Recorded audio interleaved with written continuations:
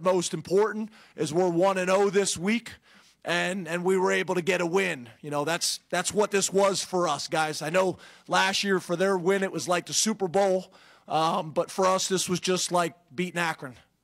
James, I I was going to ask something completely different, but that kind of stunned me. Uh, I don't know if people in Pittsburgh will take that you guys, you guys, can, maybe the way you meant it. Yeah, you guys. I've been saying for two years, so you can interpret it however you want. I've been saying for two years that each win is like the Super Bowl for okay. us. So you can interpret however you want. Last week we beat Akron, and it was a great win. Oh, I see this win, we beat Pittsburgh, and it was a great win. This win is no more significant for us than last week. Okay. So you can interpret it however you want. I've been saying this for three years. Each win stands alone.